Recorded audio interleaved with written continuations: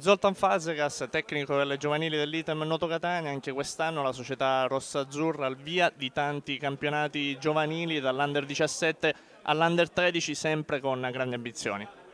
Sì, come al solito partecipiamo all'Under 17 del campione nazionale che quello è più avanzato come tempi questo campionato perché già siamo nella fase interregionale e la fase regionale abbiamo vinto avanti Telimar adesso dobbiamo confrontarsi con le realtà importanti come le squadre napoletane e campane.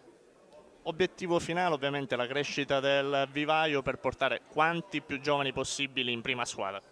Sì, questo è il nostro obiettivo perché già nella prima squadra giocano tutti i catanesi e di là dobbiamo dare sempre il cambio generazionale. Per questo motivo eh, stiamo organizzando un stage in Serbia, un altro torneo importante Under 13 a Civitavecchia per uscire fuori anche dal contesto siciliano.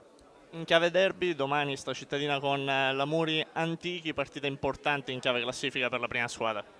Sì, noi cerchiamo di vincere nonostante che abbiamo sui vari livelli anche tante collaborazioni, però ora per un'ora dobbiamo mettere a parte per mettere in cassaforte i tre punti. Grazie.